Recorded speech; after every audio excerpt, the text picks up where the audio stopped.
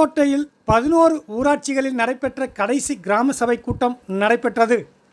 புதுக்கோட்டை மாநகராட்சியுடன் nine A Nathampannai ஊராட்சி மாநகராட்சியுடன் இணைக்கப்பட்ட நிலையில் கடைசி கிராம சபை கூட்டத்தில் ஊராட்சி மன்ற தலைவர் ஏவிஎம் பாபு கையை பிடித்துக்கொண்டு பெண்கள் கதறி அழுதனர்.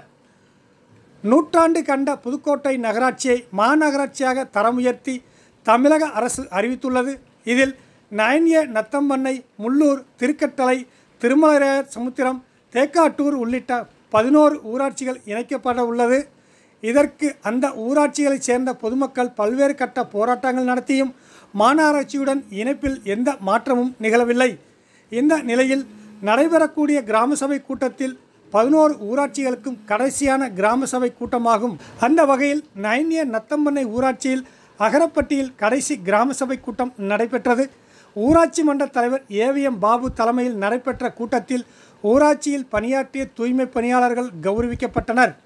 அதனைத் தொடர்ந்து கூட்டத்தில் பங்கேற்ற பெண்கள் ஊராட்சி மன்ற தலைவரின் கையை பிடித்து கொண்டு கதறி அழுதனர். அப்போது மாநகராட்சியில் அறிவிக்கப்பட்டதால் நூறு நாள் வேலை பறிபோகிறது. இதனை கருத்தில் கொண்டு தமிழக அரசு நைன் நத்தம்மனையை ஊராட்சி மாநகராட்சியுடன் இணைப்பதை பரிசீலனை செய்ய வேண்டும் என அப்போது பெண்கள் கேட்டுக்கொண்டனர்.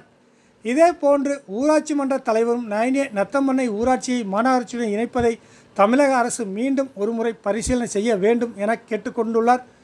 ஊராட்சி மன்ற தலைவர் பாபு எங்கள் வீட்டின் ஒரு பிள்ளையாக இருந்து எங்களுக்கு அனைத்து தேவைகளையும் பூர்த்தி செய்து வந்தார்.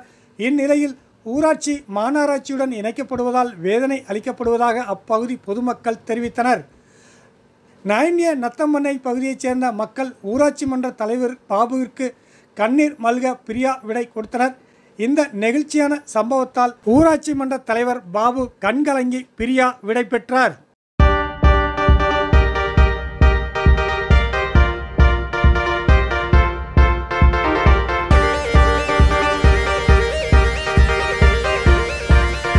ஆமாம் இன்றைக்கி வந்து இந்த கடைசியில் இந்த காந்தி ஜெயந்தி கிராம சபை கூட்டம். நயன புதுக்கோட்டை மாவட்டம் புதுக்கோட்டை ஒன்றியம். ஒன்பது நத்தம்பண்ணை ஊராட்சி மன்ற தலைவர். இன்றைக்கு வந்து காஞ்சி ஜெயந்தியை முன்னிட்டு கடைசி கிராம சபை கூட்டம் இன்னையுடன் நான் எங்கள் எங்களுடைய ஊராட்சி வந்து மாநகராட்சியாக மாற்றிட்டாங்க அது எங்களுடைய மக்களினுடைய எந்த ஒரு கருத்தும் கேட்காம எங்களுடைய ஊராட்சி பொதுமக்கள் வந்து வாழ்வாதார விவசாயம் கிடையாது எந்த சிறு தொழிலும் கிடையாது. இந்த மகாத்மா தேசிய ஊரக வேலை உறுதி திட்டத்தின் கீழே தான் அவங்க குடும்பமே நடத்திட்டு இருந்தாங்க இன்னைக்கு. அந்த அந்த நிலைமையில் இன்றைக்கி இன்னைக்கு வந்து மாநகராட்சியை மாற்றிருக்காங்க மாநகராட்சியை மாற்றினா நூறு நாள் வேலைகள் அந்த திட்டம் இதில் வராது. ஆனால் வரும்னு சொல்கிறாங்க எப்படி வரும்? அது வந்து ஒரு ஏமாற்று வேலை தான் அது. என்ன காரணம்னாக்கா இந்த ஊராட்சி கொடுத்து இந்த மாநகராட்சி கொடுத்தா அனைத்து மாநகராட்சியும் கொடுக்கணும். அதனால் மக்கள் வந்து ரொம்பவும் பாதிக்கப்பட்டிருக்காங்க.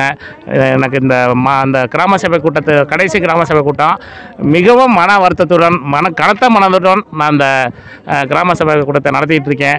அடுத்து என்னுடைய மக்கள் என்னுடைய தாய்மார்கள் தங்கச்சிகள் எல்லாருமே ரொம்ப கஷ்டப்பட போகிறாங்க எனக்கு ரொம்ப கஷ்டமாக இருக்குது இந்த மா மாநகராட்சியில்.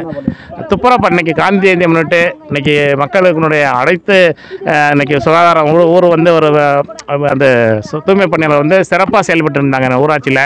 இன்றைக்கு இந்த காந்தி ஜெயந்தியை முன்னிட்டு அவர்களை கௌரவப்படுத்தும் விதத்தில் அவர்களுக்கு வந்து மாலை மரியாதை சால்வை அணிவித்து பழக்குடை வழங்கி அவர்களுக்கு ஒரு ஆணை செஞ்சுருக்கோம்.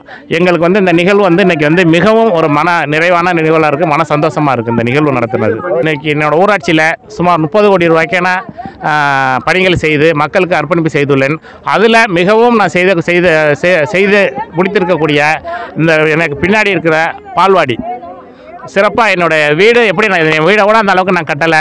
பார்த்து பார்த்து ஏன்னா ஒரு தலைமுறை வளர்வதற்கான அடித்தளம் பால்வாடி அங்கன்வாடி. அதுலேருந்து அதை குழந்தைகள் நல்லா பண்ண நீங்கள் அதை போய் திறந்து பாருங்கள் அவ்வளோ சௌகரியத்தை ஏசி மட்டும் அதில் வைக்கல. முடிஞ்சால் இருந்திருந்தால் அடுத்த ஒரு பீரியடு எனக்கு தலைவராக இருந்தால் அந்த ஏசியை அந்த குழந்தைகளுக்கு வைத்து கொடுத்துருப்பேன். அவ்வளோ சூப்பராக அந்த கட்டத்தை கட்டி கொடுத்துருக்கோம். மிகவும் எனக்கு வந்து மனசில் நிறைவாக என்றும் என்னோட வாழ்நாள் பூரா சாகும் வரை இந்த நினைவு இந்த நிகழ்வு என் மனதில் இருக்கும் என்பதை உறுதி கூறுகிறேன்.